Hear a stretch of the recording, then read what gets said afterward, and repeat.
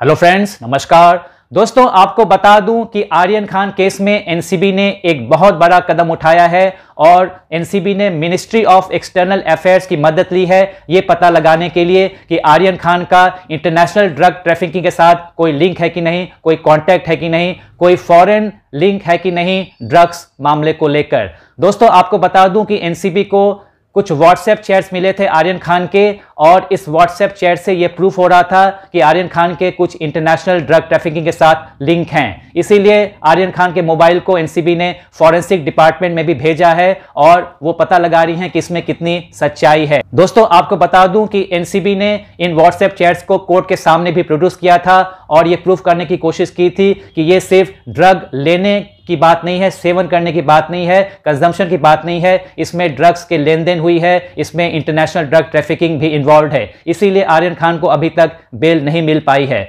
दोस्तों, आपको बता दूँ कि ये एक बहुत बड़ा कदम है और मिनिस्ट्री ऑफ़ एक्सटर्नल अफेयर्स पूरी अपनी कोशिश कर रही है इस बात को पता लगाने के लिए कि इसमें कोई international trafficking international link involve है कि नहीं। तो दोस्तों, बने रहेगा मेरे इस चैनल से। जैसे जैसे और खबर आएँगी, मैं आपको बताता रहूँगा।